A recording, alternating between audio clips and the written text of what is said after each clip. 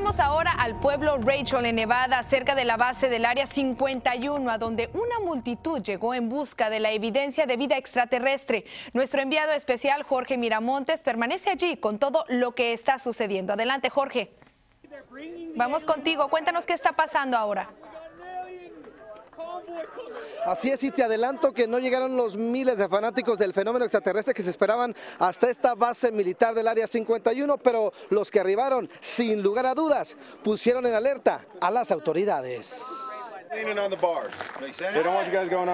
Los policías y militares que custodiaban la zona restringida estaban en alerta, sin embargo, algunos temerarios ignoraron su presencia y corrieron rumbo a la base militar, imitando el personaje japonés Naruto, que corre deprisa y esquiva las balas.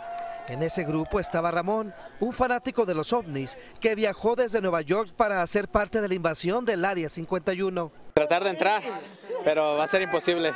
¿Por qué? Porque todo, todo el mundo está cuidándonos y no nos van a dejar entrar. Yo creo que vamos a tener que tratar en otra oportunidad. Me decías que tú, ¿qué crees que hay allá atrás? ¿Qué nos está escondiendo el gobierno? ¿Qué piensas? Los aliens. Los aliens están allá atrás, pero no nos van a dejar pasar. El entusiasmo por ir en busca de los extraterrestres era palpable entre los que llegaron hasta el hotel Little Alien, ubicado en la pequeña localidad de Rachel, aunque la mayoría nos dijo que no quería poner a prueba su suerte. Nosotros nos... Otra gente a lo mejor sí, pero nosotros no nos queremos acercar a eso. Esta madrugada dos hombres fueron detenidos frente al cerco de seguridad, pero el resto de los que llegaron hasta acá permanecieron a la expectativa de si llegaran a ver algo que confirme sus sospechas de que ahí se esconden restos de naves y seres de otros planetas.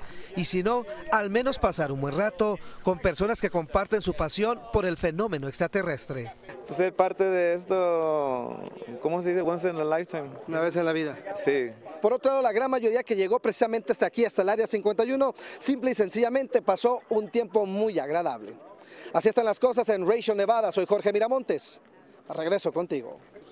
Gracias, Jorge. Y creo que también muchos lo hicieron por curiosidad para ver si es cierto que llegaban todas esas personas que se esperaban.